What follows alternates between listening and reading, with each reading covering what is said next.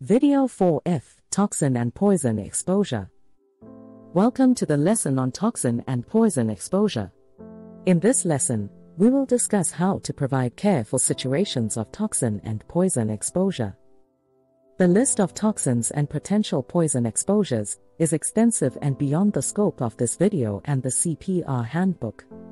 A material safety data sheet or MSDS, is required where chemicals are in use in businesses and institutions.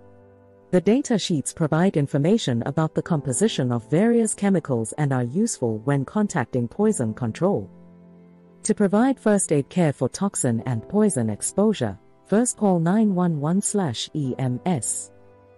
Ensure scene safety and wear personal protective equipment. Get the first aid kit and the AED. Remove the individual from the toxin or poison and seek a well-ventilated area if possible. Remove saturated clothing if present. Follow any recommendations from the 911 EMS dispatcher or the MSDS sheet. Stay with the person until advanced help arrives. If CPR is required, ensure a mask is used if possible. When treating any toxin and poison exposures, the eyes should be flushed with copious amounts of water.